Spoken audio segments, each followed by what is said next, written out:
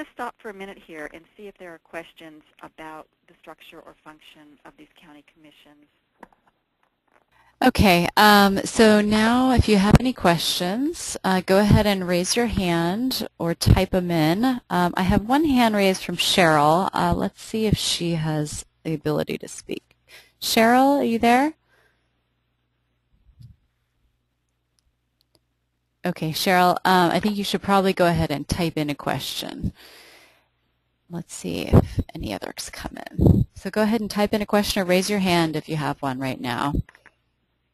And we're about to get to the discussion of the specifics of the budget and whatnot, so we'll, we'll dig into that. That's probably where most questions are. Okay.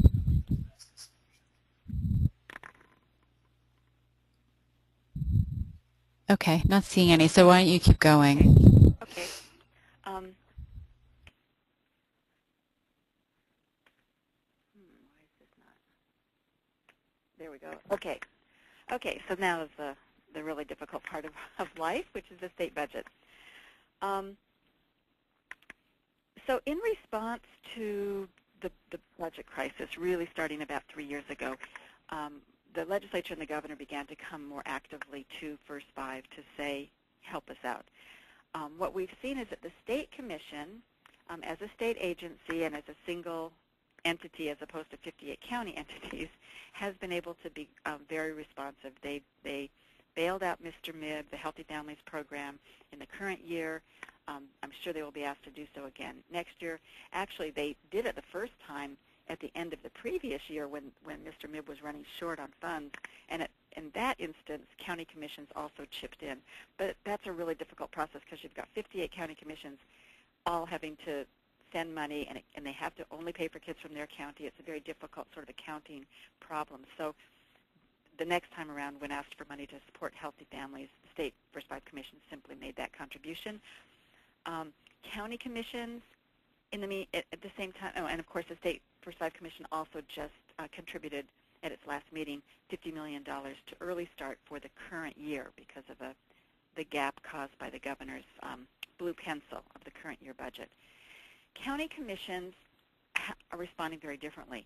They're really waiting to see what needs are emerging locally and how best to address them. And um, what we're seeing is a huge variety of responses. We are seeing a lot of commissions increasing funding for programs that just deal with basic needs, food banks, emergency clothing, that sort of thing. We're seeing increased access to health care, um, expanded contracts with clinics and other providers for people who are falling you know, out, of the, out of systems where they got health care. Um, we're seeing much more uh, funding for domestic violence programs, mental health and substance abuse, where that need has increased, probably related to the recession. Um, we are seeing um, individual grantees needing more money because of other funding sources drying up just to keep operating, and so we're seeing contracts being expanded. In a number of communities, First Fives have, have provided leadership in bringing together other funders to create special funds for emerging needs, and in some cases, county commissions have simply put some money aside to be available for emerging needs.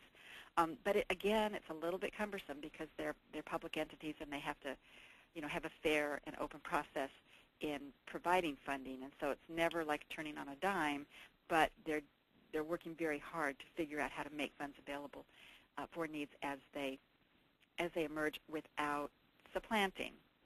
So I thought we could do poll number one here and give this a try and uh, just see what, what okay. participants are observing. Okay, here we go. So please respond to the poll. You can actually select uh, more than one question. I mean, more than one answer.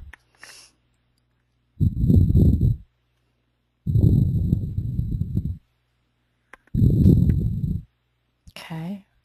People are voting. We need some music here. provide it. I'm not able to see this on my screen, right? Oh, is it not showing up for you? I'm sorry. Uh, there must be some. I'm not voting, so. Right, that's probably why. I can't, you know, um, pack the ballot box. yeah. So far, we've got 71% voting. Still climbing. Another few seconds.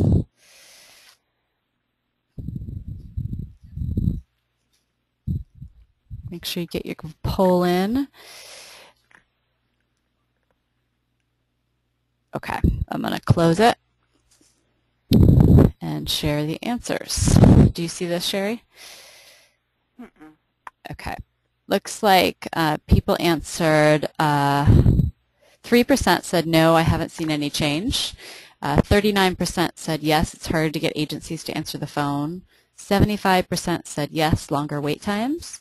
61% says families are paying more out of pocket now, and 86% say families aren't qualifying for as many services. Wow. Wow, this is great.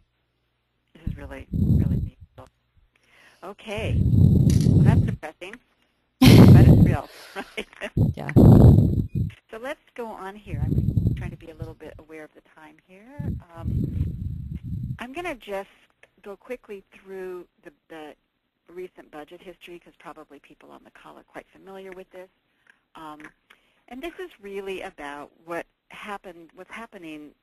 The, the, the, subtext here is the situation where we are really seeing program pitted against program.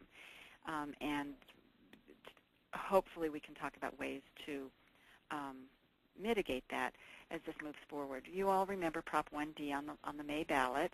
Uh, very directly pitted the regional center system against First Five um, and in fact, the ballot argument was signed by the executive director of the Association of Regional Center Agencies uh, because the, it basically diverted money directly to the regional center. Now, interestingly, it didn't actually do that in the language. It just was a promise to the legislature and the governor that if this money got freed up, that's where it would go. In year one, no one knew what would happen after that. But it called for a diversion of, of you know, half of the funds for five years. Um, well, obviously, when it didn't pass, um, you know, there are big holes in the budget, right? The budget was finally signed, and interestingly, the legislature included full funding for Early Start, but the governor vetoed it. And in his veto message, he basically said to Department of Developmental Services, go to First Five California and get the money. Um, and so what Department of Developmental Services did is they, they instructed regional centers to continue fully funding Early Start in the current year. Um, and just last month, the First Five Commission, as we're approaching the end of the fiscal year, the First Five Commission uh, allocated that $50 million because there was a giant hole in the DDS budget. All of the regional centers had been funding Early Start kind of out of other money, and they were all going to end up in the hole. And so First Five Commission came forward and, and funded it.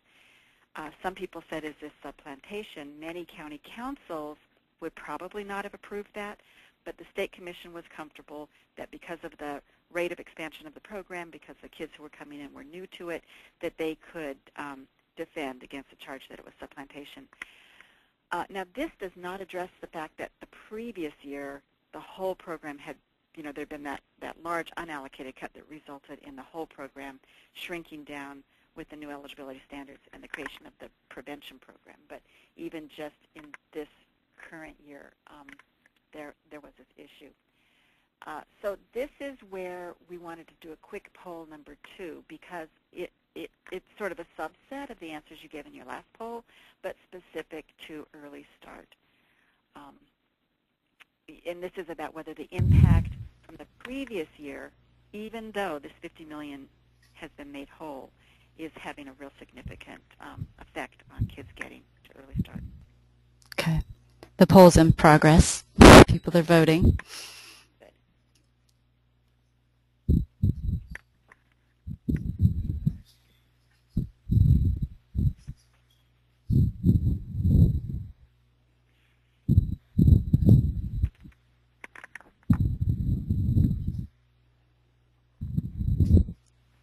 And while people are voting, Sherry, can you clarify for me what you mean by supplanted?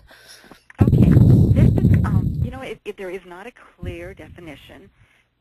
Basically, supplanting means using one source of fund to replace another source of funding. So, for instance, if a county decided to stop funding a program with the intent of using First Five to fund it instead, that would be supplantation. Um, this is a requirement. It exists in a lot of federal law where the feds will send money to a state and they'll say, but it can't, you have to have a maintenance of effort. You can't use this to replace what you were already doing. Um, but it gets it, it gets defined differently. There's not a there's not a, because there are no regulations. There's no real specific definition, and so county to county, you might see differences. Some county commissions say a program has to be defunded for a certain amount of time before they can step in and fund it. Um, and in some cases, that's a year. Sometimes it's six months. Some policies say the moment a program is defunded, First Five could pick it up because it wouldn't exist otherwise. Um, but if it's defunded with the intent of using First Five money, then that would be supplantation. So it's a tricky, a tricky area. And the reason it's important for county commissions is number one because they, you know, they want to follow the law. But number two, we really try very hard not to do things that result in lawsuits. And you can imagine that if there were some some local service providers who were defunded and their money went to something that they saw as supplantation, that would just invite somebody to you know go to the courts and say this money shouldn't have been used that way. So county commissions are quite conservative to uh, in their funding to make sure they don't raise the specter that they're using their money just to supplant. So when county commissions do fund an, an agency, for instance, Child Welfare Services, um, that has been shrunk down because of budget cuts, they don't fund it for the precise thing it had been doing previously. They fund it usually by creating a new approach or they'll fund some social worker positions but have them doing different things, more specific to 0 to 5. So you'll see there are ways they can support departments that have been hurt by budget cuts, but they don't do it simply by replacing the money generally. Does that help? Yeah, that does. Thank you. Um, okay, so people are viewing the results of the poll. It sounds like 92% said yes. Yeah, that's very, very interesting. We're really this is this is really important to um, to track because those kids, we need to know who those kids are so they don't keep going. And Sh Sherry, we have one question. What does yes. MRMIB stand for? Oh, I'm sorry. Mr. MIB is the Medical Risk Insurance Board that that uh, administers the Healthy Families Program. So it's a it's a little state agency, and its main purpose is to administer um, the Healthy Families Program, which is an insurance program for families that are low income, but not low income enough to qualify for Medi-Cal. Great. Thanks. Okay. Uh-oh, sorry. Um, hmm, there we go. So this weird um, chart. Let me just tell you what this is. It's a little odd. Um, but this shows you what the governor proposed in January, and it's also going to show you where he has big holes that he's trying to fill in his May revised budget, which is supposed to come out on May 14th. So, you know, the governor is required to put out a, an initial budget in January for the legislature to debate, um, and then in May, when they have a better um, a sense of what the revenues to the state are and what the caseload is in all the different service areas. They revise that budget and put out a new proposal. So in January, this is what he did with First Five. Um, the way First Five works is that the tobacco tax is all gathered in this fund at the state level, this trust fund at the state level.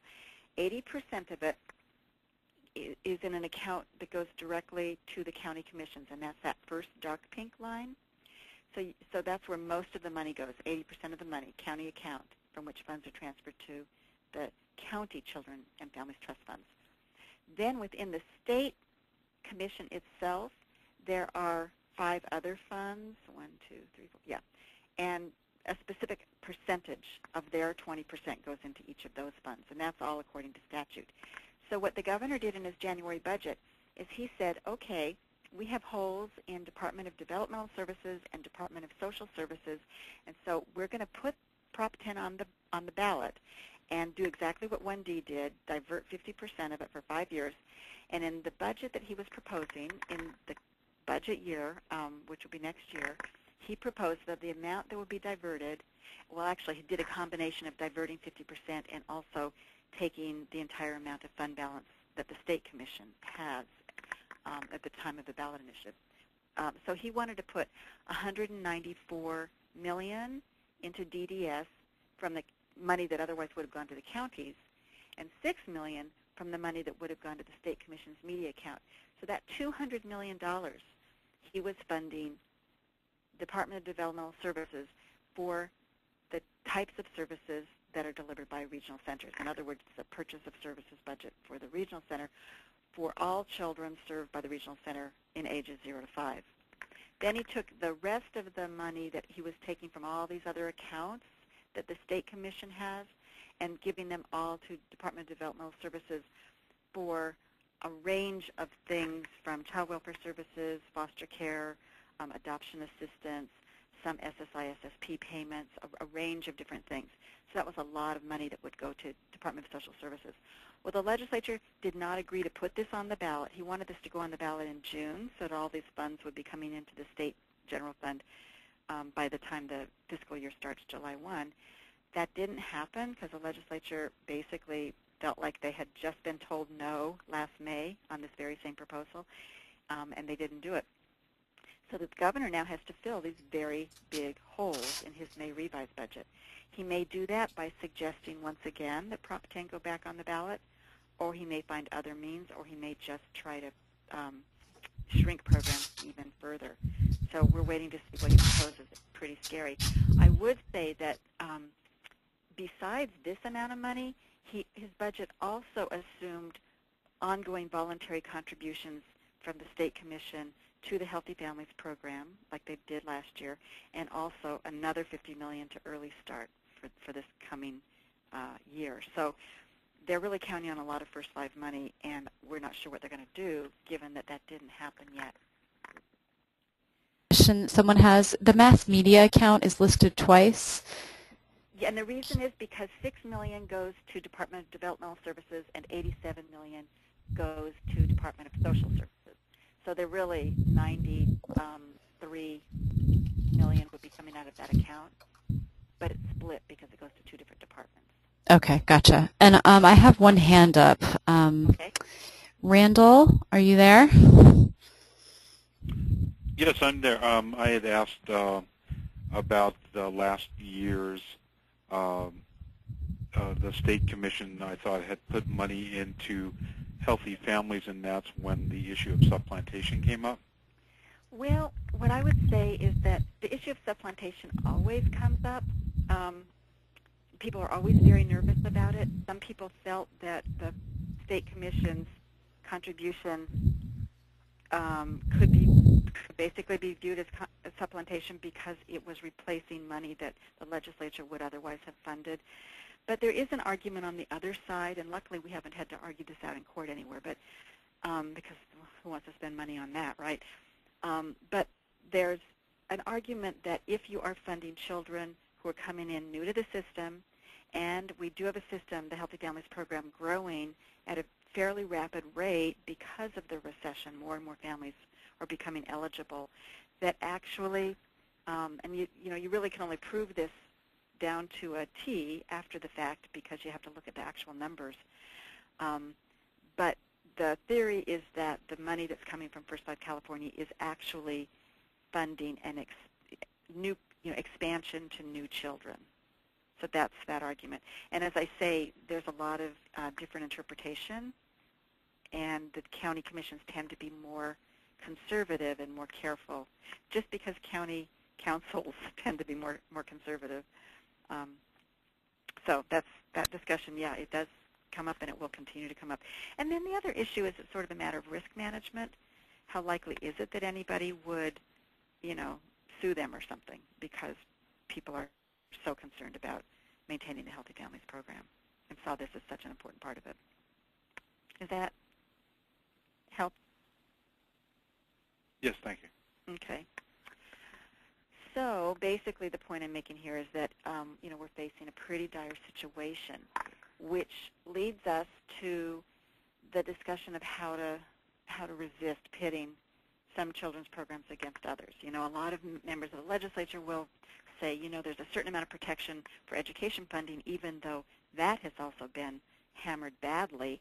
At least there are some constitutional protections. But when you come to Health and Human Services, there's a huge squeeze because there really aren't very significant protections. Um, In the area of child welfare services, we saw a very interesting response. There's a, a broad coalition of advocates, including public entities, private entities, lots of individuals, lots of advocacy organizations, county government itself, They came together, and their position is basically that child welfare services cannot be slashed further, and moreover, it shouldn't be funded by something that requires a vote of the of, of the um, vote. I mean, a, a vote of the citizens because it might not happen.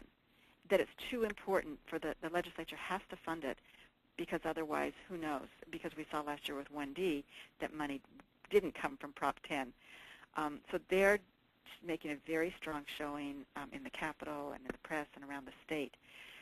We sort of, you know, we've been wondering about how, how we can work better in that regard in the developmental disability world and the first five world because we really are likely, if there is another ballot measure, to be pitted against, you know, to, to have it pitted exactly the way it was last year. And in local communities, um, you know, what is the discussion? And so I don't know how many of you know Santi Rogers, who's the executive director of San Andreas Regional Center. He and I developed something, sort of a paper, and the next few slides basically go over that paper, um, kind of a one-pager entitled The Importance of Early Intervention, Collaborating for Our Children's Future, Principles of Agreement. And the idea of this paper is just to dis encourage discussion and creative thinking and to bring folks together locally and at the state level to have, you know, to have these discussions. Um, so it starts with recognition that the first five commissions and the regional centers both have really critical roles, and they have explicit um, requirements in how they are set up. So regional centers, of course, uh, provide services to children born with developmental needs or experiencing delays with the goal of linking them to needed services and optimizing their development, and if necessary, of course, following them for life. First five commissions focus in just on 0 to 5, provide critical services that are not otherwise met by state-funded or state-mandated um, uh, programs with the goal, and this comes from statute, of promoting child health, school readiness, and improved family functioning. So these certainly are um, complementary, I would argue. Um, we would both agree that the earliest and most targeted interventions are the most effective, uh, that early screening and assessment are critical to ensure that kids get the earliest and most effective intervention, and that families and children frequently have multiple needs and often require services from multiple programs or agencies. And in many cases, that when, when budgets get tight, what happens is that families, the cracks are bigger for families to fall through. Um, so you could argue that if the regional center system is less able to meet families' needs, then we have to look at all the other services in the community to see where those needs can, can be picked up. Um, regional centers, when you're talking about the 0 to 5 age group, uh, regional centers are responsible for only a segment of the child population. Um, in other words, they, you know, because of the the, the eligibility criteria and because of the list of, of um, types of developmental needs that are actually laid out in the Lanterman Act, um, there's just a subset of kids with needs who are, it's a large group and a high need group, but it's a subset of, of all kids with needs that the regional centers um, meet. First five commissions, on the other hand, have to do these needs assessment focused on children that aren't receiving other services and don't have access to other services. Um, we, we would agree that no single agency can meet the wide range of child and family needs in California, um, that it benefits all agencies and the children they serve to collaborate and coordinate. And we would argue strongly, I would add here, that in tough times that collaboration and coordination is more important. And what happens when agencies get kind of pitted against each other is that they're less likely to be collaborating and helping one another out. Um, so we would sort of conclude that California's children are ill-served when programs are pitted against each other rather than um, incentivized to work together. there was an interesting controversy that arose in Sacramento this week, and I don't know how many of you tracked it. The First Five Commission in Sacramento was um, um, considering a proposal related to school readiness that it was the highest ranking proposal in one of the rounds of RFPs, and it came from the Crocker Museum of Art. And so the proposal was for, I think, I don't know, either 550 or 750 thousand dollars over three years to develop uh, school readiness activities and to take those activities out to high need communities, um, as well as bringing kids high need kids from high need communities into the museum. Well, it got attacked initially by some child advocates who were saying, you know, when the CPS system is decimated in Sacramento, how can First Five think of giving money to um, a, an art museum? And it was a very interesting um, debate, and I actually, it was streaming on online, so I was able to watch it while I was at work. And, you know, it was a very thoughtful discussion because First Five does not exist simply to replace funds that have been cut from Child Protective Services. On the other hand, it does exist to continue to find ways to meet multiple needs of high, high-risk kids and kids at risk of, of not succeeding in school. And after a lot of controversy, they basically put off the vote until the fall, and hopefully the state of the budget situation will be clearer by then. But there was an editorial in today's Sacramento Bee where they basically said um, that they, and if you have access to the today's Bee, you might want to look at it. They basically said that the measure, the Prop 10, clearly states that the, tobacco, the tax on tobacco products is to fund programs for children um, 0 to 5 and cannot be used to replace funding for existing services. Um, and the reason that they state and remind everybody, which is very helpful, is exactly what I was saying earlier, to prevent state and local governments from shifting fiscal responsibility for ongoing public programs to First Five. So they're basically saying this is they're supporting the notion that we don't want to decimate First Five just because times are tough, because then it'll be gone, and it's and it's doing other things that are important as well. So coming back to this issue of, of you know, of, of, collaboration, cooperation, sometimes what we are, what we find, of course, is that when times are really tough, people get very creative, and actually solutions emerge, or at least the beginnings of solutions emerge.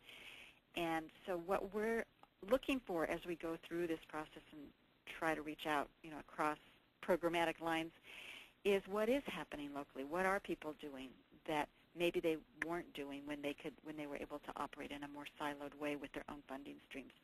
And we're interested to hear whether folks on this call um, have ideas, observations, have seen things happening that actually are interesting and something that we should all share and know about. Poll number three. Okay, people are voting. So far we're up to 41% voting. And I should note that um, we'll be sending out a follow-up survey, um, so we can talk some during today's webinar, but for those of you who do know of local models that are going on, we'd really appreciate uh, you writing about them in the follow-up survey. There's a question that we'll ask you about it as well. You know, I think there's a, something that happens in California. California is so big, and having 58 counties with such different kinds of populations, such different needs, um, something I've observed over my many years of working in the area of public policy is what I call policy development by contagion, meaning that when something is working somewhere and some other entity, locale hears about it, they you know, they, they, they get interested, they learn about it, and they tend to want to replicate it. Um, and a lot of times when state government is unable to make statutory change at that level, that affects our programs programs are nonetheless evolving and improving because they're learning from each other. We certainly see that in the First Five World. Our association does a lot of work bringing commissions together across county lines and sharing uh, best practices, sharing outcomes, figuring out what you know what's working for different populations that are shared, different language groups, different cultural groups.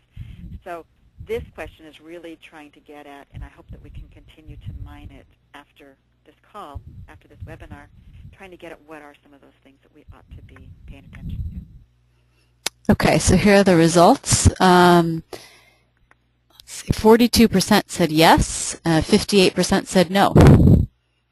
Okay, so 42% of folks on this call have some good ideas. So I'm hoping we can actually talk about them a little bit. Um, I wanted to stop talking now because I've been talking for the better part of an hour and have a few minutes here at the end to share um, some of those those um, observations of, from the 42%, but also if there are other questions that have come up, because I know some of you may be wanting more information about the, the more general political environment that First Five has been facing. Um, but this is your time, so let's let's open it up. Please go ahead and raise your hand if you have things to add. Um, I have one hand raised. Let's see. I'm going to try Pam. Pam, are you there? Pam? Okay. Pam, if you can't speak, uh, go ahead and type in your question and I'll read it aloud. Uh, I have one comment from Riva. She says that here at EPU in uh, Fresno, uh, their early intervention program has been able to continue to serve children at risk due to First Five funding. And, and First Five Fresno did a did a, an interesting had an interesting strategy. As I was saying, it's really difficult to simply go in and replace funding as it's cut because of the supplementation issue. But um, First Five Fresno basically went basically increased the size of a contract with a provider so that that, that provider basically had you know um, wider arms to accept kids. So kids who were not making it to early start um, had a place to be referred to, and I think that was a, a wonderful model. And I know EPU has been very involved in that, so I think that's been a terrific, a terrific collaboration. Other and other commissions are looking at doing similar, sort of a similar thing. The other other folks out there, do you know of other models that are going on, other collaborations that are happening at the local level that you can share?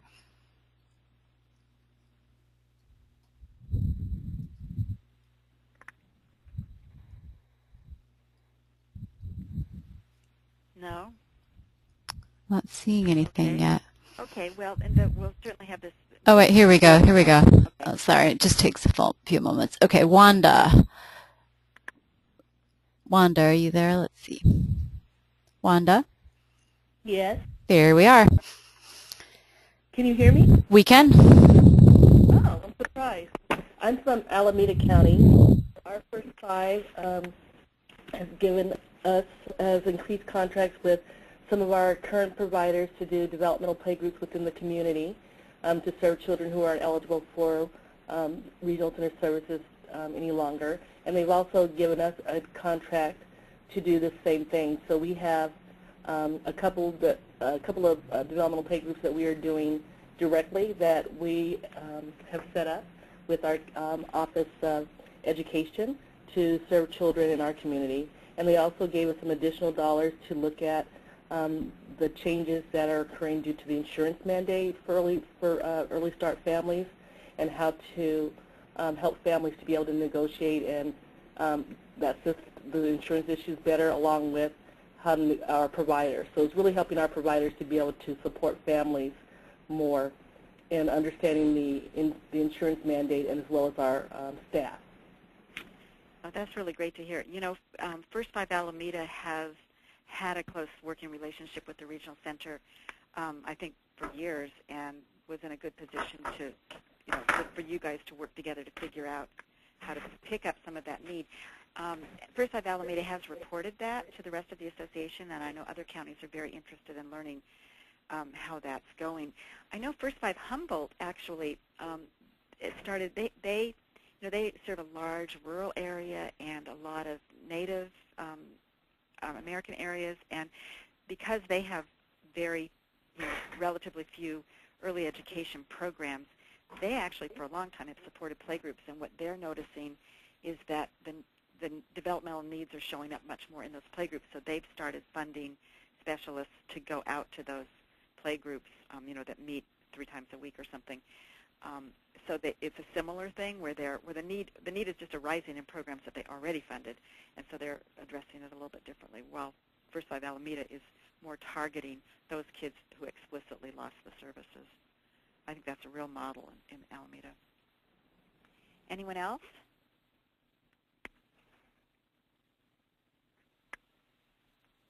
Yeah, hi, this is Randall uh, Marks in San Diego. Hi, Randall. Hi, uh, the San Diego First Five, we have uh, uh, a Healthy Developmental Services project that looks to serve children with mild to moderate needs. So these are kids that wouldn't necessarily qualify for regional center. But we uh, recently uh, teamed up with our child welfare services and our early child mental health departments to do a larger project to uh, look at kids that have uh, real complex, hard to diagnose developmental and behavioral problems. And First Five is, is providing the funding for this, and mental health is using a piece of that to draw down um, basically 85% more dollars from the early, the EPSDT funding. Mm-hmm. Mm-hmm. So Yeah. our dollars are leveraging um, $150,000 is leveraging another 80, 850,000. So we've got a million dollar mental health program for a, a rather small investment. And those are some of the kids that may not uh, qualify for regional center, but they have something diagnosable. Right. And so we're trying to find ways to team with some of our other county agencies to meet some of those needs. Yeah, and that approach, it's sort of the SART approach. It's kind of like the um, what EPU is involved in in First Five Fresno, I mean Mhm. with First Five Fresno, which is screening, assessment, referral, and treatment. Yeah, this is this is uh, similar to that. Yes. And it's a wonderful way to bring all those different agencies together. And sometimes First Five funding is really the glue and kind of the motivation to bring folks together. And then the good thing about First Five dollars is that they are legitimate dollars to be used to leverage federal funds. Yes. Um, you can't do that with foundation dollars, but you can do it with First Five. So that's that's been really helpful. Thanks, Randall. Does anyone else want to give one one last example? Because I- we'll also. Oh, yes. Uh huh. Oh yeah, sorry. I have a few uh, questions typed in over here. Um, one's from LA. Uh, they say um, our early intervention programs in LA County are having difficulties with the reduction in families to early start, and in our area, we've been encouraging them to look at expanding their services to other populations. Is there someone at First Five LA that we can discuss on how to add this resource? Yeah, and maybe wh- whoever this person is, he ca- I can talk to directly after the call because um, it, I, I can explain kind of what, what Five LA is doing, and we can figure out how to make that link. Um, is it possible, Tara, for you to hook? I mean, for us to get hooked? Yes, up? absolutely, absolutely. Okay, great.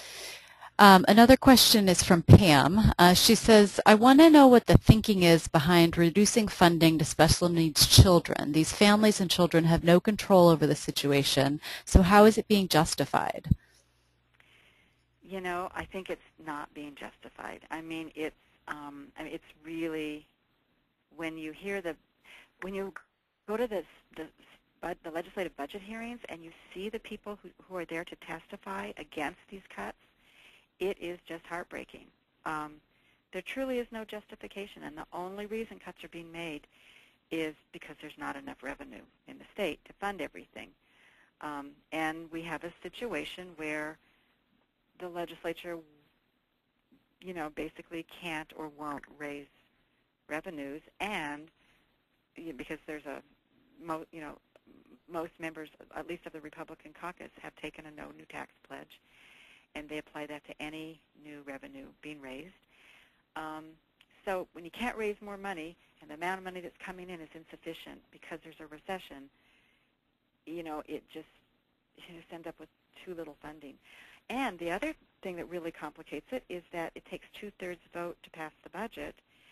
Um, so people in the legislature who really do not place a high priority on these programs, um, you know, they, they win some concessions in the budget discussion and get more cuts. So it's a really very sad situation. I don't think there's probably anyone on this call who would try to defend it.